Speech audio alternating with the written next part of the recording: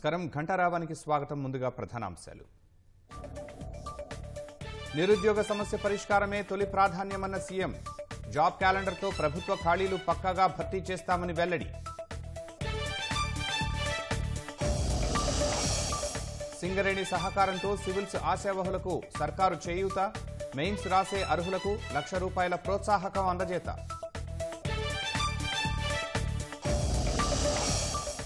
హైదరాబాద్లో అందుబాటులోకి వచ్చిన గోపన్పల్లి ఫ్లైఓవర్. ఐదేళ్ళలో లక్షా యాభై వేల కోట్లతో మూసీని అభివృద్ధి చేస్తామన్న సీఎం. భారాస దోపిడీ విధానానికి కాళేశ్వరం బలైపోయిందన్న ఉత్తమ్ నిపుణుల సూచనల ప్రకారమే ప్రాజెక్టు మరమ్మతుపై ముందుకు వెళతామని వెల్లడి. పార్టీ ఫిరాయింపులపై గవర్నర్కు ఫిర్యాదు చేసిన బీఆర్ఎస్. త్వరలో రాష్ట్రపతి దృష్టికి తీసుకెళ్తామని కేటీఆర్ వెల్లడి.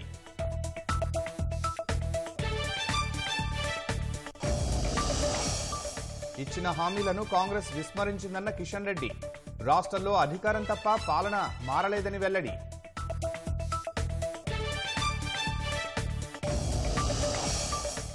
హైదరాబాద్లో ఏడు కోట్ల విలువైన డ్రగ్స్ పట్టివేత.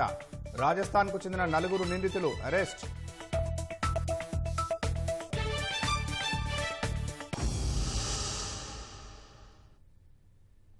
నిరుద్యోగ సమస్య పరిష్కారమే ప్రభుత్వ తొలి ప్రాధాన్యమని ముఖ్యమంత్రి రేవంత్ రెడ్డి ప్రకటించారు. ఏటా జూన్ రెండున ఉద్యోగ నోటిఫికేషన్లు ఇచ్చి డిసెంబర్ తొమ్మిదిలోపు నియామకాలు పూర్తి చేసేలా జాబ్ క్యాలెండర్ విడుదల చేస్తామని తెలిపారు. సింగరేణి సంస్థ సహకారంతో రాజీవ్ గాంధీ సివిల్స్ అభయహస్తం పథకాన్ని ఉప ముఖ్యమంత్రి భట్టితో కలిసి సీఎం ప్రారంభించారు. కష్టపడితే ప్రభుత్వం అభినందించి అండగా నిలుస్తుందని యువతకు సందేశం ఇవ్వడమే పథకం ముఖ్య ఉద్దేశమని ముఖ్యమంత్రి వ్యాఖ్యానించారు. కొట్లాడి తెలంగాణ తెచ్చుకుందే కొలువుల కోసం అన్న సీఎం రేవంత్ రెడ్డి అందుకు తగ్గట్లే నిరుద్యోగులకు తమ ప్రభుత్వం ఉద్యోగాలిస్తుందని స్పష్టం చేశారు. ఇక నుంచి ఏటా జూన్ రెండున ఉద్యోగ ప్రకటనలిచ్చి డిసెంబర్ తొమ్మిదిలోపు నియామకాలు పూర్తి చేసేలా జాబ్ క్యాలెండర్ పక్కాగా అమలు చేస్తామని ప్రకటించారు. హైదరాబాద్ ప్రజాభవన్లో రాజీవ్ గాంధీ సివిల్స్ అభయహస్తం పథకాన్ని ఉప ముఖ్యమంత్రి భట్టి విక్రమార్క మంత్రులు పొంగులేటి తుమ్మల సీతక్క జూపల్లి కృష్ణారావు కోమటిరెడ్డి వెంకటరెడ్డితో కలిసి ప్రారంభించారు. సివిల్స్లో ప్రిలిమ్స్ పాస్ అయిన తెలంగాణకు చెందిన ఒక్కో అభ్యర్థికి లక్ష చొప్పున ఆర్థిక సాయం అందించారు. అనంతరం వారితో సీఎం ముఖాముఖి నిర్వహించారు. పరీక్షలు మాటిమాటికి వాయిదా పడ్డం మంచిది కాదన్న ముఖ్యమంత్రి అభ్యర్థుల సమస్యలు అర్థం చేసుకుని గ్రూప్ టూ పరీక్షలు వాయిదా వేశామని వివరించారు. ఆ నిరుద్యోగ సమస్యల నుంచి పుట్టుకొచ్చిన భావోద్వేగమే తెలంగాణ. అందుకే ఈ ప్రభుత్వానికి నిరుద్యోగ యువకుల సమస్య పరిష్కరించడం అనేది మొదటి ప్రాధాన్యత. తొంభై రోజుల్లో ముప్పై వేల ఉద్యోగ నియామక పత్రాలు ఇవ్వడం జరిగింది. తెలంగాణ రాష్ట్రం ఏర్పడిన తర్వాత పది సంవత్సరాలలో ఇచ్చిన ఏ నోటిఫికేషన్ కూడా ఇచ్చిన సమయానికి పరీక్షలు నిర్వహించిన సందర్భమే లేదు. తెలంగాణ పబ్లిక్ సర్వీస్ కమిషన్ను కూడా కంప్లీట్గా పునర్వ్యవస్థీకరించి యూపీఎస్సీ తరహాలో మార్పులు చేసి ఎంబడెంబడే నోటిఫికేషన్స్ ఇచ్చినాం. మేము ఇప్పుడు డిఎస్సి పరీక్ష రాసినంబడే గ్రూప్ వన్కు ప్రిపేర్ అవుతాం. మళ్ళీ గ్రూప్ టూ ప్రిపేర్ అవ్వడానికి కష్టం అవుతుంది అని అంటే గ్రూప్ టూ పరీక్షల్ని గ్రూప్ త్రీ పరీక్షలతో పాటు నవంబర్ అండ్ డిసెంబర్లో నిర్వహించడానికి ముందుకొచ్చు. ఏ పరీక్షలైనా స్పష్టంగా ప్రణాళికబద్ధంగా క్యాలెండర్ డేట్స్ ప్రకారం రేపు అసెంబ్లీలో క్యాలెండర్ డేట్స్ కూడా డిక్లేర్ చేసి రాష్ట్ర ప్రభుత్వంలో వచ్చే ప్రతి ఖాళీలను థర్టీ ఫస్ట్ మార్చ్ లోపల అన్ని శాఖల నుంచి తెప్పించుకొని జూన్ సెకండ్ లోపల నోటిఫికేషన్లు ఇచ్చి by December ninth every year ఎన్ని ఖాళీలు ఉన్నా భర్తీ చేసి వాళ్ళ నియామక పత్రాలు వాళ్ళ చేతికి అందించాలని మన ప్రభుత్వం నిర్ణయం తీసుకున్నది. సివిల్స్కు పోటీపడే అభ్యర్థులను ప్రోత్సహించడానికి ప్రభుత్వం తరపున సాయం అందిస్తామన్న సీఎం నిరుద్యోగులందరికీ భరోసా కల్పించడమే ప్రభుత్వ ఉద్దేశమని పేర్కొన్నారు. మిమ్మల్ని అందరినీ ప్రత్యక్షంగా ఇక్కడికి పిలిపించి మిమ్మల్ని కలిసి ఈ మేము ఇచ్చే ఈ టోకెన్ మీ అవసరాలను పూర్తిగా తీరుస్తుందని నేను చెప్పను. కాకపోతే మీకు ఒక నమ్మకం కలుగుతుంది. ఎస్ తెలంగాణ ప్రభుత్వం మాతో ఉంది మమ్మల్ని గుర్తించింది. మిమ్మల్ని గుర్తించడం ద్వారా లక్షలాది మా విద్యార్థులకు ఒక సందేశాన్ని పంపదలుచుకున్నది మా ప్రభుత్వం. ఎస్ మీరు కష్టపడితే ఈ ప్రభుత్వం మిమ్మల్ని పిలిచి పర్సనల్గా కలుస్తుంది మిమ్మల్ని అభినందిస్తుంది మీ భుజం తడుతుంది అని ఒక సందేశాన్ని ఇవ్వడం కోసం రాష్ట్ర ప్రభుత్వం మంత్రివర్గం అంతా కదిలొచ్చి మీ స్టూడెంట్స్కి ఇచ్చే ఎస్ మీ ద్వారా తెలంగాణ రాష్ట్రంలో ఉన్న నిరుద్యోగ యువకులకు ఒక నమ్మకం విశ్వాసం కల్పించాలనేది మా ఆలోచన. రాజీవ్ గాంధీ సివిల్స్ అభయహస్తం పథకం ప్రారంభం రాష్ట్ర చరిత్రలో సువర్ణాధ్యాయంగా ఉప ముఖ్యమంత్రి భట్టి విక్రమార్క అభివర్ణించారు. తెలంగాణ రాష్ట్రం నుంచి పెద్ద ఎత్తున యూపీఎస్సీలో తెలంగాణ బిడ్డలు సెలెక్ట్ కావాలన్నటువంటి మా ప్రభుత్వ ఆలోచన. అందులో నుంచి వచ్చిందే ఈ కార్యక్రమం. తెలంగాణ బిడ్డలు బాగా మేధస్సు కలిగినటువంటి వాళ్ళు ప్రోత్సహిస్తే ఎంత దూరం అయినా దూసుకుని పోగలిగినటువంటి వాళ్ళు. ఎటువంటి ఇబ్బంది లేకుండా ముందు పోండి అని చెప్పి ధైర్యాన్ని ఇచ్చేటువంటి ఒక వ్యవస్థ. ఆ వ్యవస్థే తెలంగాణ రాష్ట్ర ప్రభుత్వం. మెయిన్స్ ప్రిపేర్ కావటానికి ఇబ్బంది లేకుండా ఉండటం కోసం ప్రోత్సహించడానికే ఈ చెక్కుల డిస్ట్రిబ్యూషన్ కార్యక్రమం రాష్ట్ర చరిత్రలోనే మనం ప్రవేశపెట్టుకుని ముందుకు పోతా ఉన్నాం. ఒక చారిత్రాత్మకమైనటువంటి నిర్ణయం. ఏటా ఎనిమిది లక్షల్లోపు వార్షికాదాయం గల సివిల్స్ అభ్యర్థులందరికీ లక్ష రూపాయల సాయం అందిస్తున్నట్లు సింగరేణి సీఎండి బలరాం నాయక్ తెలిపారు. అయితే కోల్ ఇండియా పథకంలో ఇలాంటి పథకాన్ని ప్రవేశపెట్టగా అక్కడ కేవలం ఎస్సీ ఎస్టీ మహిళలకు మాత్రమే అవకాశం కల్పించారు. కానీ సీఎం గారి ఆదేశంతో వీలైనంత మందికి సహకారం సహాయం చేయాలనే ఉద్దేశంతో మనం ఈ పథకాన్ని SC ST OBC EWS general category మహిళలు అందరికీ వర్తింపజేస్తున్నాము. ఎనిమిది లక్షల ఆదాయం సంవత్సర ఆదాయం లోపల ఉండి వచ్చిన వారికి ఫైనల్ పరీక్షకు హాజరవడానికి ఆర్థిక తోడ్పాటు అందించాలనే ఉద్దేశంతో ఒక్కొక్కరికి లక్ష రూపాయల చొప్పున ప్రోత్సాహాన్ని అందించాలని ప్రభుత్వం నిర్ణయించడం జరిగింది. ఏటా ఇదే రీతిలో సివిల్స్కు ఎంపికైన అభ్యర్థులకు ఆసరాగా నిలుస్తామని ప్రభుత్వం పేర్కొంది. మూసి పరివాహక అభివృద్ధికి ఐదేళ్ళలో లక్షా యాభై వేల కోట్లు ఖర్చు చేసేలా ప్రణాళికలు రూపొందించామని సీఎం రేవంత్ రెడ్డి తెలిపారు. ఇందుకు సంబంధించిన పనుల్ని త్వరలోనే ప్రారంభిస్తామని ప్రకటించారు. హైటెక్ సిటీని చూస్తే ఒక సీఎం అంతర్జాతీయ విమానాశ్రయం చూస్తే మరో సీఎం గుర్తుకు వచ్చినట్లే మూసీని చూస్తే ప్రజాప్రభుత్వం గుర్తుకు వచ్చేలా అభివృద్ధి చేస్తామని గోపన్పల్లి ఫ్లైఓవర్ ప్రారంభోత్సవంలో హామీ ఇచ్చారు. హైదరాబాద్ మహానగరంలో మరో ఫ్లైఓవర్ అందుబాటులోకి వచ్చింది. శేరిలింగంపల్లి నియోజకవర్గంలోని గోపన్పల్లి తండా పైవంతనను ముఖ్యమంత్రి రేవంత్ రెడ్డి ప్రారంభించారు. గత భరసా ప్రభుత్వ హయాంలో సుమారు ఇరవై ఎనిమిదిన్నర కోట్ల వ్యయంతో ఈ వంతెన నిర్మాణం చేపట్టారు. మంత్రులు కొమటిరెడ్డి వెంకటరెడ్డి పొంగులేటి శ్రీనివాసరెడ్డిలతో కలిసి జెండా ఊపి లాంఛనంగా ప్రారంభించిన సీఎం ఫ్లైఓవర్ పైకి ఉమెన్ బైకర్స్ను అనుమతించారు. రాష్ట్రానికి అరవై ఐదు శాతం ఆదాయం హైదరాబాద్ నుంచే వస్తున్నందున నగరాన్ని విశ్వనగరంగా మార్చేందుకు అన్ని చర్యలు చేపట్టినట్లు సీఎం స్పష్టం చేశారు. హైదరాబాద్కు కృష్ణా గోదావరి జలాలు తెచ్చింది కాంగ్రెస్ పార్టీనన్న రేవంత్ ఐటీ కంపెనీలు ఐఎస్బీ లాంటి విద్యాసంస్థలు రావడం వల్లే భూముల ధరలు పెరిగాయని గుర్తు చేశారు. ప్రస్తుతం మూసీని చూస్తే ముక్కు మూసుకునే పరిస్థితి ఉందని రానున్న ఐదేళ్ళలో లక్ష యాభై వేల కోట్లతో ప్రపంచ పర్యాటకులు వచ్చేలా నదిని తీర్చిదిద్దుతామని తెలిపారు. హైదరాబాదు నగర అభివృద్ధి కోసం మూసి పరివాహక అభివృద్ధి కోసం ఐదేళ్ళలో లక్ష యాభై వేల కోట్ల రూపాయలతోని ప్రణాళికలు సిద్ధం చేసి తొందరలోనే పనులు ప్రారంభించబోతున్నామని చెప్పి మీ అందరి సమక్షంలో ఇవాళ మనం ప్రకటించుకుంటున్నాం. మనం అందరం చాలామంది మూసి అంటే ముక్కు మూసుకునే పరిస్థితి ఉంది. కానీ రాబోయే ఐదేండ్ల లోపల మూసి చూడడానికి ప్రపంచం నలుమూలల నుంచి విదేశీ నుంచి కూడా పర్యాటకులు వచ్చి మూసిని చూసే విధంగా మూసి ప్రాంతంలో ఇరవై నాలుగు గంటలు వ్యాపారం చేసుకునే విధంగా మూసి పరివాహక ప్రాంతంలో ఐటీ కంపెనీల ఐటీ టవర్లు పెంచే విధంగా లండన్లో లండన్ ఐ ఐకానిక్ ఏదైతే ఉన్నదో అట్లాంటి అభివృద్ధిని చేసే విధంగా ఇవాళ మూసీని అభివృద్ధి చేయడానికి సంపూర్ణమైన ప్రణాళికలను మన ప్రభుత్వం రచించింది. ఇవాళ హైటెక్ సిటీ చూస్తే ఒక ముఖ్యమంత్రి గుర్తొస్తాడు. ఐటీ లేకపోతే అంతర్జాతీయ ఎయిర్పోర్ట్ ఔటర్ రింగ్ రోడ్డు చూస్తే ఇంకొక ముఖ్యమంత్రి ఇంకొక ప్రభుత్వం గుర్తొస్తుంది. కానీ ఈనాడు మన ప్రభుత్వం ప్రజా ప్రభుత్వం మూసి అభివృద్ధిని చూస్తేనే ప్రజా ప్రభుత్వం గుర్తొచ్చే విధంగా ఈరోజు మూసీని మనం అభివృద్ధి చేసుకుంటాం. ఇతర ప్రాంతాల నుంచి వచ్చే ప్రతి ఒక్కరిని హైదరాబాద్ హక్కున చేర్చుకుంటుందని సీఎం రేవంత్ తెలిపారు.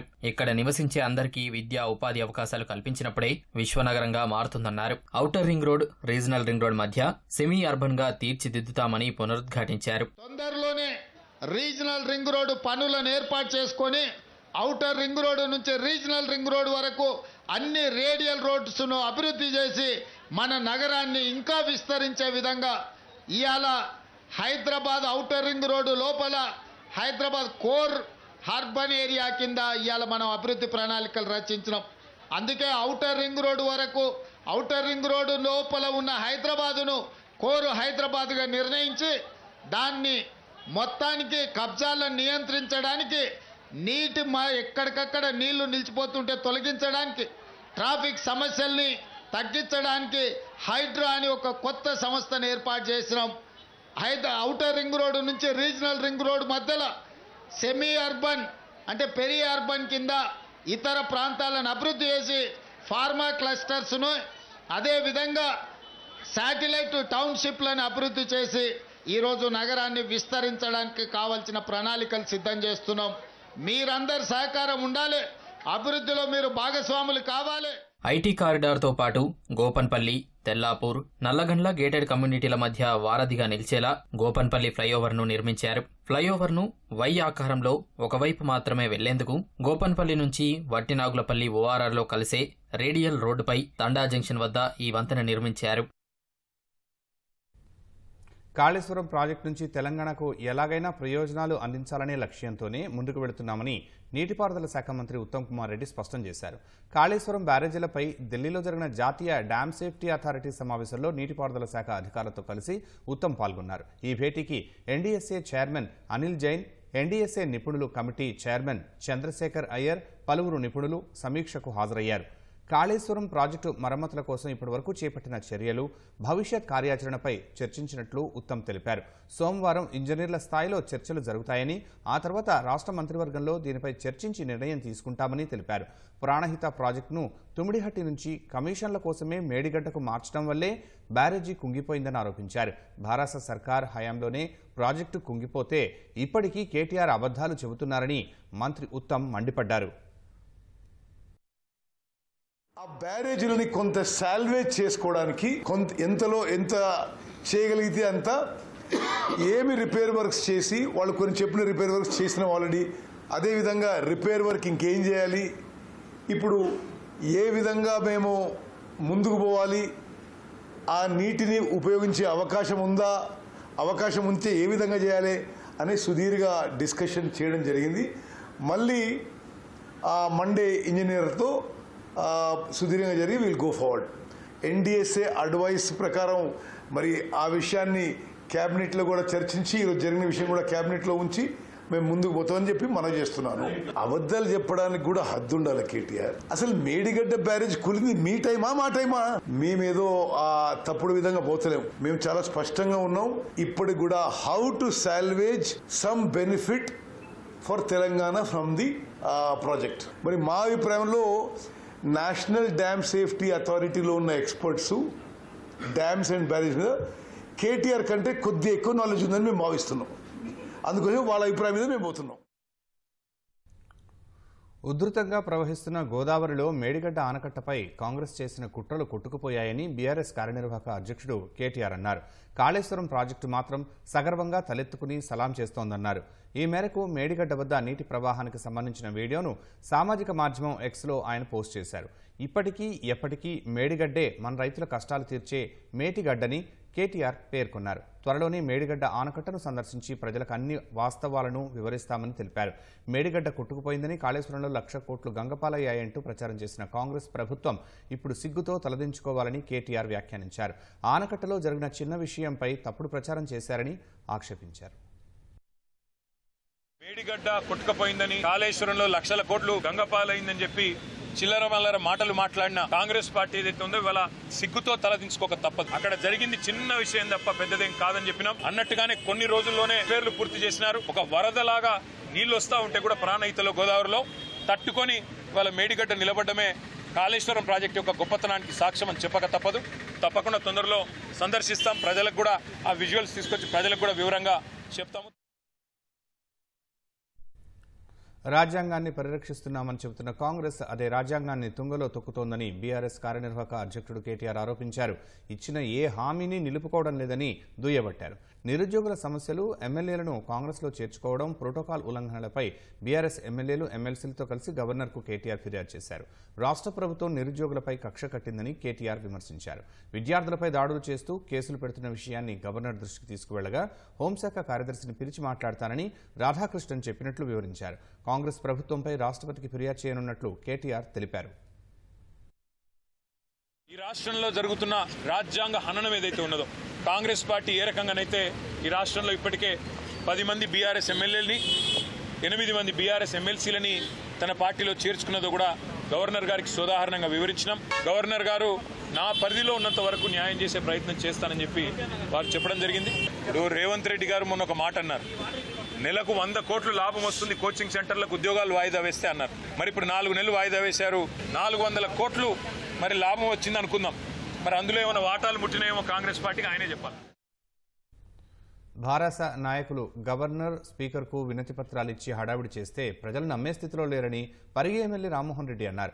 రేవంత్ రెడ్డి ప్రజా సంక్షేమ పాలన చూసే ఎమ్మెల్యేలు కాంగ్రెస్లోకి వస్తున్నారన్నారు. రాష్ట్రంలో రైతు ఆత్మహత్యలు ఉండకూడదని అన్నదాతల సుభిక్షం కోసమే ముప్పై ఒక్క వేల కోట్ల రూపాయల రుణమాఫీ చేస్తున్నామన్నారు. గతంలో రాజ్యాంగాన్ని పరిరక్షించామని భారస నాయకులు చెబుతున్నారని వారు కేవలం కల్వకుంట్ల రాజ్యాంగాన్ని తీసుకొచ్చారని ఎమ్మెల్యే రామ్మోహన్ రెడ్డి విమర్శించారు. ఒక సుపరిపాలన ప్రజాపాలన అందిస్తున్న సందర్భంలో ఓర్వలేక కేటీఆర్ తన బృందాన్ని తీసుకొని పోయి ఈ రోజు ముఖ్యమంత్రిని అవమానపరిచే విధంగా గవర్నర్కు వినతి పత్రం ఇవ్వడం అనేది ఎట్లా ఉందంటే వీళ్ళ పరిస్థితి వంద ఎలుకలు తిన్న పిల్లి తీర్థయాత్రలకు పోయిందంట. అట్లా ఉంది ఈ కేటీఆర్ పరిస్థితి. రాజ్యాంగాన్ని పరి పరిరక్షిస్తాం మేము. గతంలో మేము పరిరక్షించినాం. ఇప్పుడు పరిరక్షించలేదు. అవమానపరిచారు అని చెప్పి ఎన్నో విధాలుగా ఈ రోజు మీరు మాట్లాడుతున్నారు. మీరు ఏ రాజ్యాంగాన్ని మీరు గౌరవించారు మీరు కల్వకుంట్ల రాజ్యాంగాన్ని తీసుకొచ్చారు మంత్రులకు ఎమ్మెల్యేలకు కనీసం వాళ్ళకి ఇవ్వాల్సినటువంటి గౌరవ మర్యాదలు ఇవ్వనందు మూలంగానే ఈరోజు మీ పార్టీ లోపల ఉండకుండా వాళ్ళు కాంగ్రెస్ పార్టీలో చేరి వాళ్ళ యొక్క నియోజకవర్గాలను అభివృద్ధి చేసుకోవాలన్నటువంటి ఉద్దేశంతోనే వాళ్ళు కాంగ్రెస్ పార్టీలో చేరుతున్నారు. రైతులను మభ్యపెట్టేందుకే కాంగ్రెస్ ప్రభుత్వం అరకర రుణమాఫీ చేసిందని కేంద్ర బొగ్గు గనుల శాఖ మంత్రి కిషన్ రెడ్డి ఆరోపించారు. తెలంగాణలో కేసీఆర్ కుటుంబ పాలన పోయి సోనియా కుటుంబ పాలన వచ్చిందని విమర్శించారు. హైదరాబాద్ ధర్నా చౌక్లో నిరుద్యోగుల సమస్యలు పరిష్కరించాలంటూ బీజేపీ యువమోర్చా నిర్వహించిన మహాధర్నాలో కిషన్ రెడ్డి పాల్గొన్నారు. ఎన్నికల ముందు ఇచ్చిన జాబ్ క్యాలెండర్ హామీ ఏమైందన్న కేంద్ర మంత్రి నిరుద్యోగులను అవమానించేలా సీఎం రేవంత్ రెడ్డి మాట్లాడడం బాధాకరమన్నారు. యువత భవితను ఆగం చేయడమేనా? కాంగ్రెస్ తెచ్చిన మార్పు అని ప్రశ్నించారు. తెలంగాణలో అధికారం మారింది తప్ప పాలనలో అవినీతిలో మార్పు రాలేదని కిషన్ రెడ్డి విమర్శించారు. ఈ రోజు రెండు లక్షల ఉద్యోగాలు. ఎక్కడ పోయినాయి రేవంత్ రెడ్డి గారు?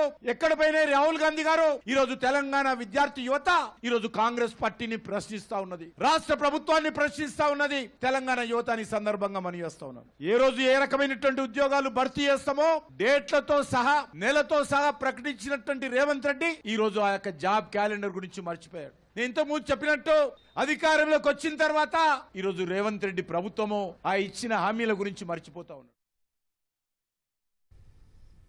రెండు లక్షల రూపాయల లోపు ఉన్న రైతుల రుణాలను అన్నీ మాఫీ చేస్తామని మంత్రి తుమ్మల నాగేశ్వరరావు స్పష్టం చేశారు.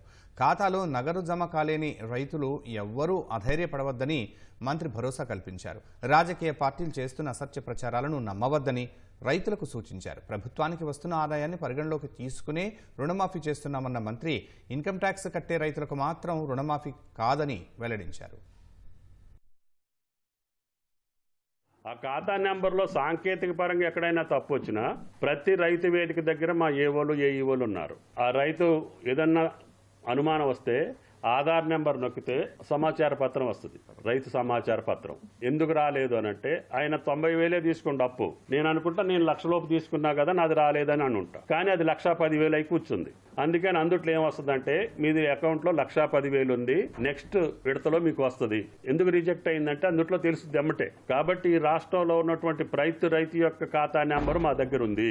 ఆధార్ నెంబర్ తప్పొచ్చినా ఖాతా నెంబర్ తప్పొచ్చినా బ్యాంకు తప్పున్నా రైతుది తప్పున్నా పేర్లు తప్పుబడ్డా అన్నీ కూడా క్లారిఫై చేసి దానికి యంత్రాంగం ఉంది.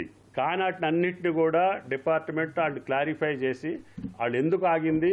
ఎప్పుడు వస్తుంది అనేది కూడా చెప్పే సమాచారం మా దగ్గర ఉంది కాబట్టి ఎవరు కూడా దీంట్లో ఆగమవ్వాల్సిన పని లేదు. దయచేసి రాజకీయ పార్టీలు చెప్పేవాళ్ళు కూడా వాస్తవాలు తెలుసుకొని గతంలో జరిగిన పద్ధతిలోనే జరుగుతుంది. ఇంకా మెరుగైనటువంటి పద్ధతిలో డేటా తీసుకొని ఈ యొక్క రుణమాఫీ చేస్తున్నాము. ఇంత మంచి కార్యక్రమాన్ని మీరు బురద జల్లి ఏదో రాజకీయ లబ్ధి పొందాలంటే అది అసాధ్యం అని చెప్పి కూడా రాజకీయ పార్టీలకు విజ్ఞప్తి చేస్తున్నా. హైదరాబాద్లో భారీ ఎత్తున మత్తు పదార్థాలు పట్టుబడ్డాయి. శిల్పారామం సమీపంలో అమ్మకానికి ఉంచిన ఏడు కోట్ల విలువైన కిలో హెరాయిన్ను పోలీసులు స్వాధీనం చేసుకున్నారు. శంషాబాద్ ఎస్ఓటీ మాదాపూర్ పోలీసులు నిర్వహించిన సోదాల్లో రాజస్థాన్ నుంచి హైదరాబాద్కు డ్రగ్స్ సరఫరా చేసే ముఠా గుట్టురట్టు చేసినట్లు సైబరాబాద్ సిపి అవినాష్ మహంతి వెల్లడించారు. నలుగురు నిందితులను అదుపులోకి తీసుకుని విచారణ చేస్తున్నట్లు తెలిపారు. కిలో హెరాయిన్ని నాలుగు ప్యాకెట్లలో ఒక్కొక్కటి రెండు వందల యాభై గ్రాములుగా ప్యాక్ చేసి తీసుకొచ్చారని సిపి వివరించారు. నిందితులు ఎవరెవరికి డ్రగ్స్ విక్రయించాలని చూస్తున్నారో కస్టడీలోకి తీసుకుని దర్యాప్తు చేస్తామన్నారు. We have these kits no so we are testing people ఎప్పుడు దొరికితే ఆ యూరిన్ టెస్ట్ కిట్స్ ఉన్నాయి ఇప్పుడు. సో దాని మీద we are testing people usually cocaine is not consume by people who have less money not that it's consumed by one set of people. Usually it requires little more money to consume it. So the people having money could be spread across all strata of society. If one accused throws up 20 names it's not necessary that all 20 necessarily would have uh, come. We have to add something to that some supporting evidence then go for uh, this thing. And also depends on when the person has consumed and all that for the test to come positive